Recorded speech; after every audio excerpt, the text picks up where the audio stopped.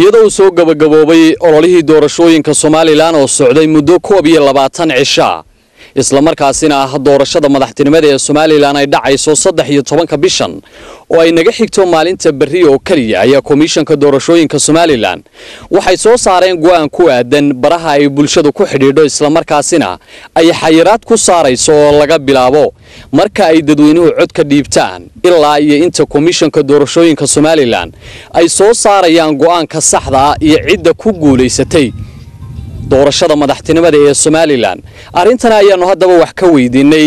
Bulshada iyagu ku xidhiidha baraha bulshada garyaqaano iyagu ka eegay dhanka sharciga.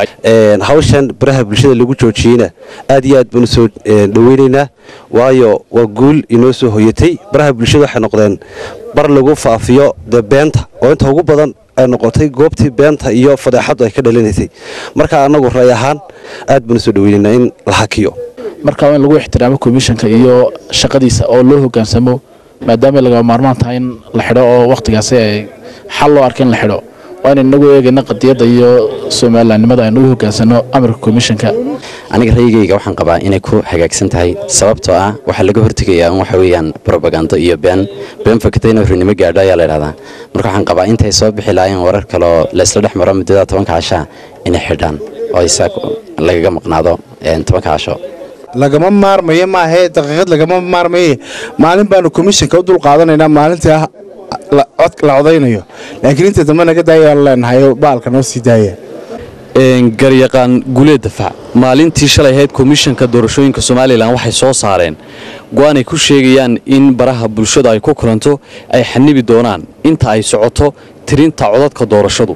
Bal arintaasi sharciyan sideed u aragtaa bismillahi raxmaan raxiim aad iyo aad buu mahadsantiin. Arrinku arrinkaa sharciyan waxuu arkaa inaanu ahayn sharciga iyo dastuurka dalka waafaqsanayn sababo dhowra awgood oo marka koowaade warbaahinta bulshada waxay ka mid yihiin warbaahinta. Warbaahintana in la xiro ama la xayiraa waxay ka soo dastuurka somalilan u damaanad qaaday madax bannaani iyo xorriyad. Xeerarka iyo baaqa caalamiga xuquuqisaanku sidoo kale iyana u damaanad qaaday. Waa marka labaad ee guddida doorashooyinka u xil saaran inay doorasho qabato awooddooda iyo shaqadeeda iyo xilkeeda toonna ma aha inay ka shaqayso xayiraadda iyo arrimaha amniga arrimaha waxa xilsaaran wasaaradda isgaarsiinta wasaaradda arrimaha gudaha iyo wixii la mid ah dadka reer somaliland ma ahayn maskaxdooda iyo maankooda la caayo. Waa dad dalkooda iyagu dhistoo jecel. Maaha dad dadka laga ilaalinayo. Maaha somaliland in laga dhigo ummad iyadii laga ilaalinayo dalkeedii. Laakiin kagama hortegi kartid inaad dadkao dhan afka ka xidhid. Waxaan ahay garyaqaan ka howlgala maxkamadaha dalka. In la xanibo ama dib loo dhigo hawsha ah wada xidhiidhka baraha bulshada. Anugu waxaan jeclayn xagga siyaasadda inaanan ka eegin inaan ka eega xagga sharciyadda uun dalkeennu waa dal yaroo curdina oo soo koraya waxna waa maslaxad waxna waa sharci. Xagga sharciga markaad ka eegto innagu dastuurkeennu ma bannaynayo in dadka la xakameeyo oo laga xakameeyo habka isgaadhsiinta ay marba ku xidhiidhayaan. Laakiin waxaa la samayn karaa sistam kale oo wacyigelina oo runtii iminka aad mooddo xilligeedii in laga soo gudbay. Haddana ay munaasib ahayd in bulshada si guud loogu wacyigeliyo habka ay mar walba u marayaan inay ra'yigooda u cabbiraan.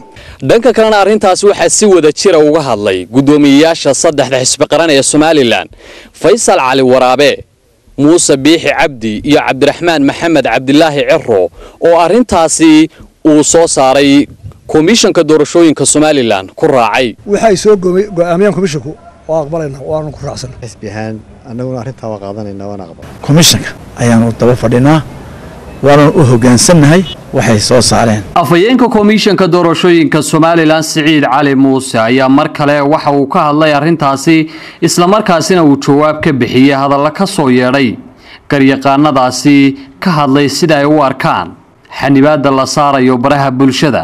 Waxaannu hakinnay muddo baraha bulshada.